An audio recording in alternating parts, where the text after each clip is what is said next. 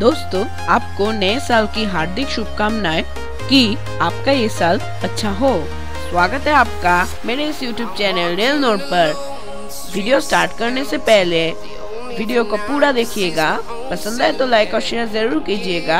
अगर चैनल पे नए हैं तो चैनल को सब्सक्राइब करके बेल आइकन को ज़रूर से दबा दीजिएगा। इस वीडियो में हम जानेंगे, जो स्लीपर क्लास वाली ट्रेनें होती है लग्जरी ट्रेनों में या लॉन्ग रूट वाली ट्रेनों में लोकोमोटिव का यूज़ क्यों किया जाता है? ये ईएमयू टाइप क्यों नहीं होते? या एमईएमयू टाइप तो चलिए दोस्तों वीडियो को शुरू करते हैं।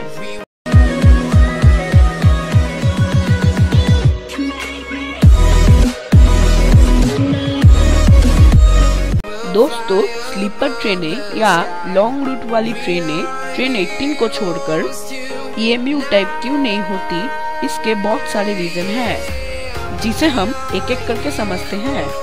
दोस्तों, जैसे आप सभी को पता होगा कि ईएमयू का मतलब है इलेक्ट्रिकल मल्टीपल यूनिट और एमईएमयू का मतलब main line electrical multiple unit दोस्तों, इन ट्रेनों को क्विक एक्सलेशन और डी एक्सलेशन के लिए बनाया जाता है। क्योंकि इन्हें हर स्टेशन पर रुकना होता है, जिससे वो जल्दी से अपनी स्पीड को पकड़ सके। लेकिन इन्हें बनाना और इनका मेंटेनेंस करना एक लोकोमोटिव वाले ट्रेनों से बहुत ही महँगा होता है, क्योंकि इन्हें हाई मेंटेनेंस कॉस्ट की ज़रूरत होती है। दोस्तों, जो स्लीपर ट्रेनें होते हैं, उसे हर स्टेशन पर नहीं रुकनी होती। जिसके कारण उन्हें क्विक एक्सेलरेशन या डी एक्सेलरेशन की ज़रूरत नहीं है। और ऐसे ट्रेनों का मेंटेनेंस कॉस्ट कम होता है, इसलिए इनमें लोकोमोटिव का यूज़ किया जाता है। इसके साथ ईएमयू ट्रेन की सबसे बड़ी डिमेरिट ये होती है, अगर इसके किसी कोच में डिफेक्ट आ जाए या इसके कोई स्लीपर कार में कोई प्रॉब्लम हो जाए तो आसानी से कोई दूसरा कोच इसमें कनेक्ट नहीं किया जा सकता।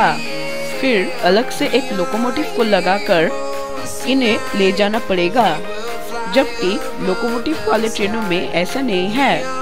इसके किसी भी कोच में प्रॉब्लम होने से, आसानी से उस कोच को निकालकर दूसरा कोच ऐड किया जा सकता है।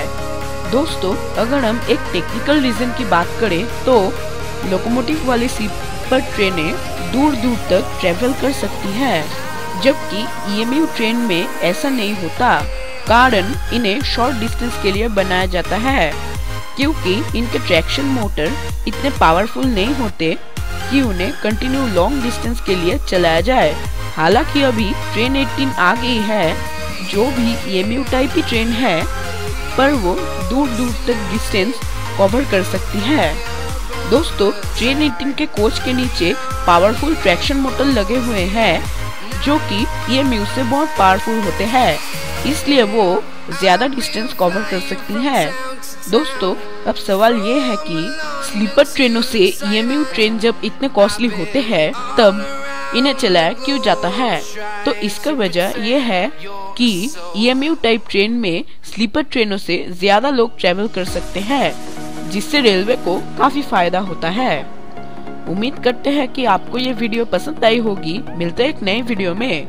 आज के लिए इतना ही दोस्तों। थैंक यू इस वीडियो को देखने के लिए।